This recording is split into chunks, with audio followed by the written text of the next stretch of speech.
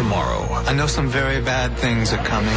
It's the 100th episode. We're surviving, but we're not going to win this way. But for some, it will be their last. All the people I care about are dead.